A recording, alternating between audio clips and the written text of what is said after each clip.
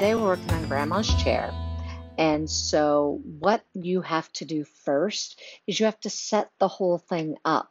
And this requires us to kind of go back and forth a little bit here with our video and our um, looking at our V5. So I'm going to start by setting everything up. So I need to add a device. I have a motor, just the one. And I'm going to give it a name. I'm going to call it chair motor or chair mot. And I'm going to hit done. So now I have a motor. So now you see all my motion blocks show up. Well, I have this set up so that grandma's chair has a bump switch on it. And so that's going to be called the chair switch. It's a three wire bumper switch. And I'm going to put it over here in A and we're going to call it chair bump. And done. Now, when grandma hits the chair bump, we want the motor to run and move her chair one way or the other. Well, the way we tell where it currently is is that we have limit switches, one at the bottom and one at the top. And if the one at the bottom is pressed, I want the chair to go to the top. And if the one at the top is pressed, I want to go to the bottom. So I need to add those devices, three wire devices here. So I'm going to go with limit switch and I'm actually going to put it in B and B is going to be my top limit and C go, will be my bottom limit. And I do recommend that you actually name them. It will help you in the long run. So here's the deal. I just want to go ahead and program this so that it does the basics. So for the first part, um, when started, I don't need because I don't want to start anything funky. Well, actually, I suppose I could leave when started there and set the velocity of my motor. So right now, I think it's 50% automatically. I'm going to set it to 100% because I'm using a um, lead screw, which means it's super slow to begin with. So I'm now going to come over here to events and I'm looking for when the chair bump is pressed because grandma has now gotten on the chair and she's pressed the button. If, and let me see if I can find my if, there it is. If that bottom switch is is pressed at the same time she presses the button, it should go to the top. So I'm going to come here, and if the, it says top limit, but I'm going to change it to bottom limit. So if the bottom limit, so now she presses the chair bump, if the bottom limit is also pressed, then I want it to go forward until, which I think is a control, until the top limit gets pressed. And when the top limit gets pressed, it should stop.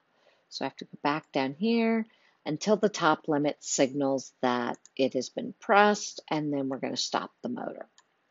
Okay, so let's go through it again. Grandma gets on the chair. She presses the chair bump switch. The bottom limit is currently pressed. It's now going to run forward until the top limit is pressed, and then it's going to stop the motor. I'm going to duplicate this and stick it down here, not inside the other if, but as an alternate. So then we can do the opposite too. So she gets on at the top of the stairs. So that means the top limit is pressed. We're going to run the, the chair motor in reverse until the bottom limit is pressed, and then we're going to start the motor or stop the motor. So let's go ahead and test this and see if it works. So as you can see, this is my setup and the top switch is pressed right here. So I should be able to press this and have it run and it's not working. So let's go back and look at our code because I think maybe we missed something small. Our code, and as you can see, it says when the chair bump is pressed, if the bottom limit is pressed, go up. If the top limit is pressed, go down. But the problem is, is it can't move to this if because that one's up there. So I think what we really want here is an if then else. So I'm going to put this if inside this else so it becomes an else if. So that that way it's looking for two things and not just one. So let's try that and see what happens. So let's download it and then we'll go ahead and run it. Okay, so as you can see, here's my uh, thing, my chair here. So I'm going to press that top, and then when I press the chair, it should go down until this bottom one gets pressed, which it did. Now, should go up until the top one gets pressed.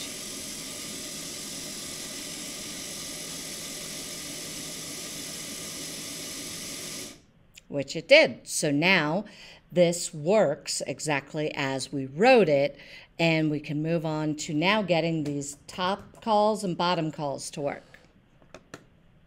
And we need to get our top call and our bottom call to work. So I'm going to kind of shuffle around over here. You can probably hear me. So I'm looking at my top call is plugged into port F. So I'm going to go over here to my little display devices thing here and I'm going to add a three wire and I need a bumper switch and it's at F and I'm going to call it top call. So this is going to call the uh, chair to the top of the run. Then I need one for the bottom as well. I'm just checking. I have it plugged into E, it looks like. So I'm going to add another one here. Three wire bumper E. This is the bottom call. There we go. And now that I have those added, I can now program them. So here's the deal. We use just a simple uh, chair bump here to get this working. So I'm going to start by trying a Let's see. So they have bump switch here. So let's see. There it is, top call. So when I run the top call, so that means it would run forward. So I'm going to come here. I'm just looking at what I already have, and I'm essentially going to duplicate this. Actually, you know what? I could just duplicate that. So it should uh, spin the chair motor forward until the top limit is pressed and then stop and now I'm also going to build the bottom call as well. So there's my bottom call and that would duplicate this right there. So now we should be able to download this There it goes. Run it and see if now I can add that functionality to get this whole thing to work correctly. Okay, so here we go. We're going to try the top and bottom calls. So here's my top call. And notice it runs and it should once again turn off when that limit switch is clicked. So let's see if that works. It does, so now let's pull it to the bottom. And again, here's my limit switch that I'm using as a sensor. And there it goes. Now, this will go up and down based on the chair bump, and it will go up and down based on the call up and the call down. So it'll work in all the three major ways that I needed it to work. So there you go, and that's some basic coding with V5 for a pretty simple uh, like chair elevator.